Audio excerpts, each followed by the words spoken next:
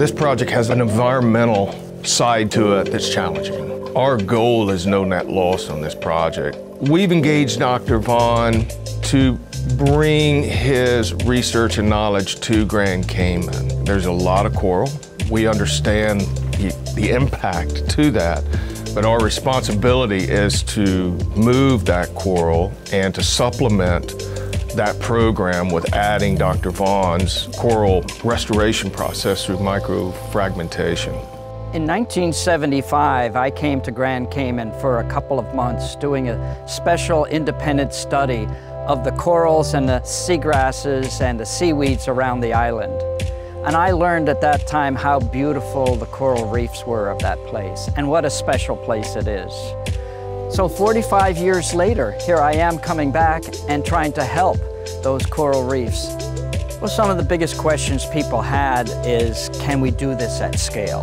And so we looked to start a project that was plant a million corals. Not only is it basically a good idea, it's our mission, it's our vision, and as I like to say sometimes, it's the recipe. Not only do we make many pieces, but each piece grows back to size in record time, which is very unusual.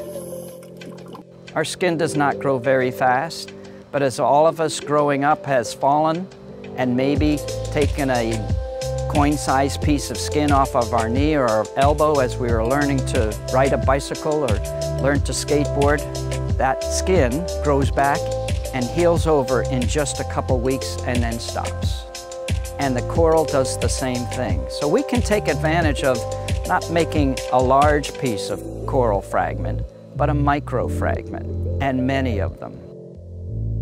What's great about the microfragmentation technique and some of the other coral reskinning things that we do is we're able to see this actively happen before our very eyes. We can see it happen in a matter of months with each coral that we cut and plant.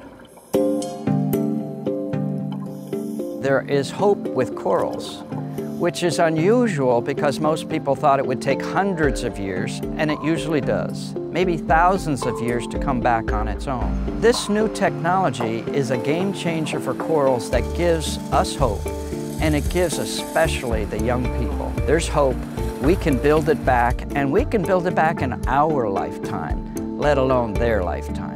The scalability is something that's hard for people to comprehend because we've all grown up knowing that corals grow very, very slow. And now I'm up to 100,000 corals have been grown and planted.